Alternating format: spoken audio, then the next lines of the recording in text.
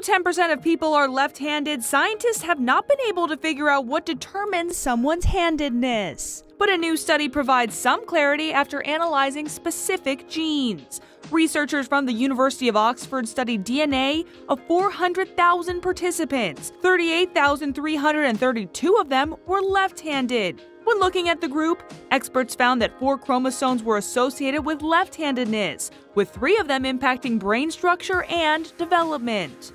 Based on the findings, the study showed that left handed people may have better verbal skills and are slightly less likely to develop Parkinson's disease. It also found that left handed people are marginally at a higher risk of schizophrenia. Scientists have studied genetics before to try to determine what makes someone right handed or left handed, but this is the first time the four genetic regions have been identified. More research is needed to confirm the study's results. Summer Delaney, Pix 11 News.